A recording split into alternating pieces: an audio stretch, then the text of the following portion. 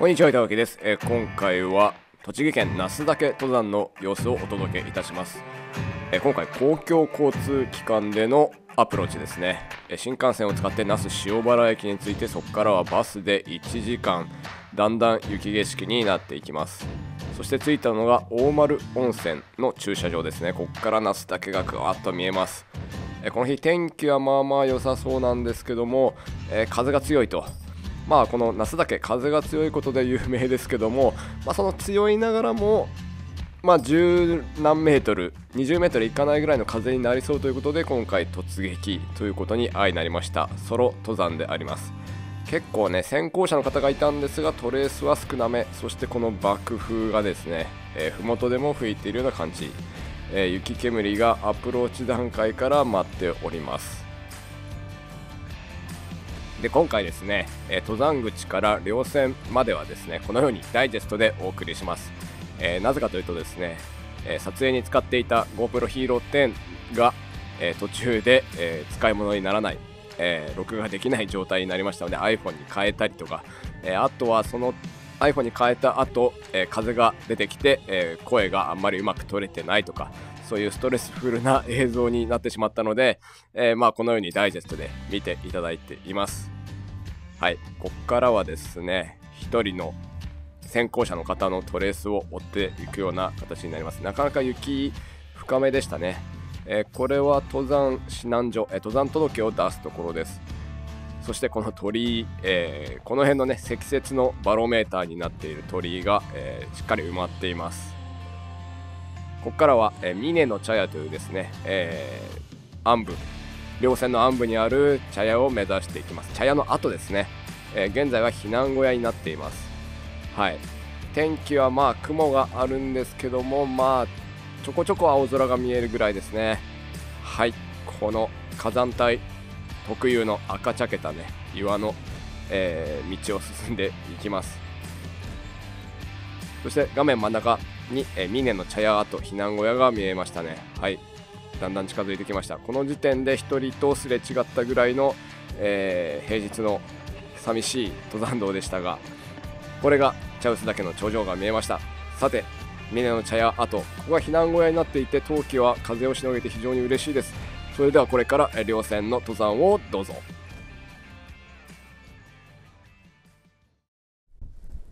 はい、ちょっとね、GoPro はもう使い物にならなそうなんで、ちょっとこの音声レコーダーにね、えー SD カードを移し替えて、この風の中、どんな音が取れるかテストをします。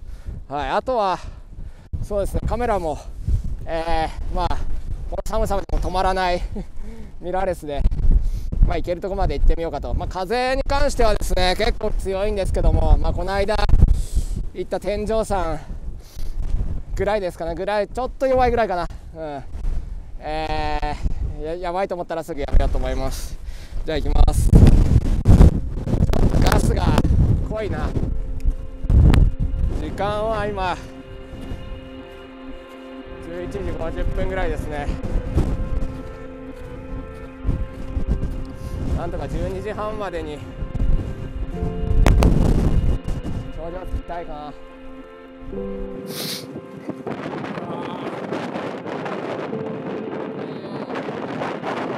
ええ。太陽よ。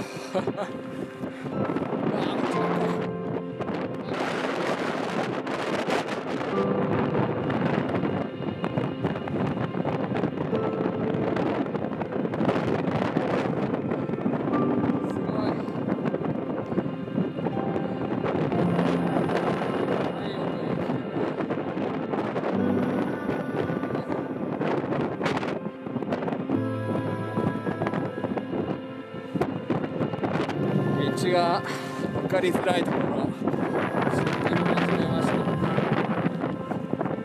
戻ります、えー予報通りというか12時近くになって風が少しだけ上回ってきました。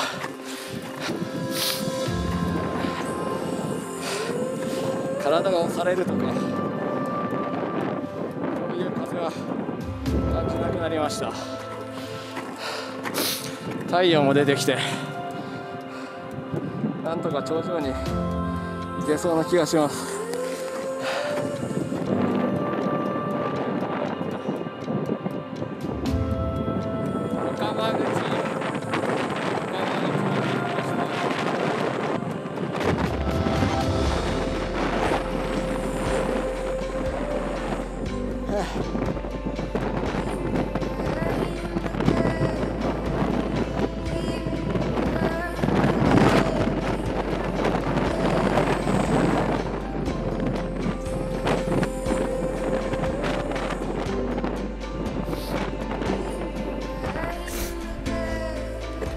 が見えたところで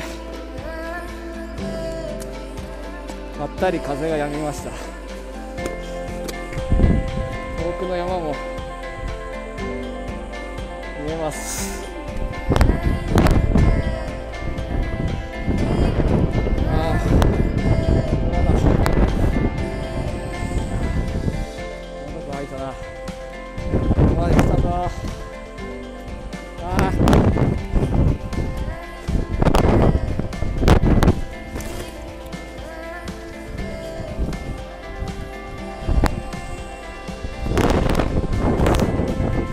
たことある。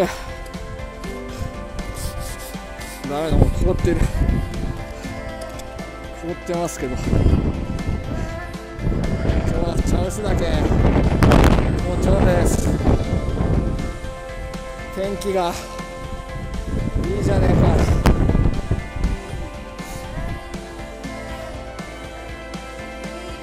ああっちが噂の。裏裏ナスですかね、えー、2022年の2月1日あと1日で2月2日でしたね。えー、茶臼岳冬季登頂しました。やったー。久々にでも本当にやったーって感じ。ちょっと途中ねちょっとだけ道、ま、間違えたところでちょっとかなり気持ちが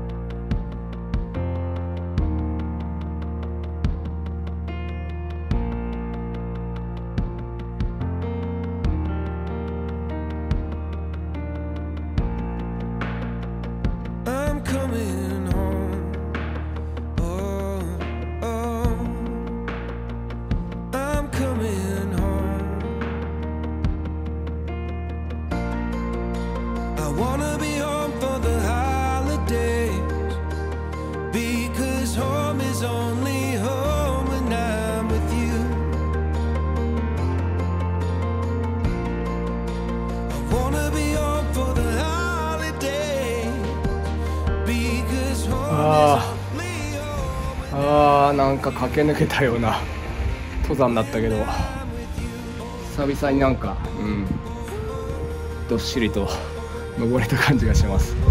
雪山はまあ今シーズンねもう1回ぐらいは行きたい。今度はなんか誰かと登ったりして、えー、行きたいですね。というわけで2022年2つ目かな。はい。いちいち数えないですけど。栃木県那須岳茶臼岳の登山でした。それでは。